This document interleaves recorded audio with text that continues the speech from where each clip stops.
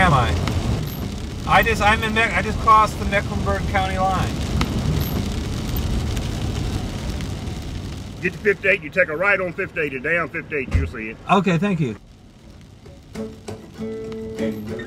I was taught, you know, blues was dead, country blues didn't exist anymore, and, and within a few weeks, this guy introduced me to 10 great blues artists in this whole scene. Tim realized very quickly that, that it was a constant economic struggle for these people. And so the foundation started really as, as a very heartfelt response uh, to the very real needs of a, of a small group of people.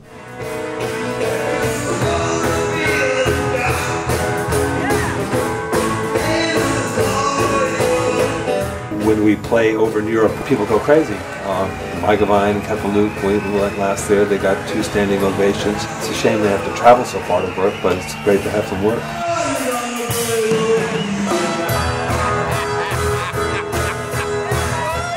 The bigger the crowd, the better.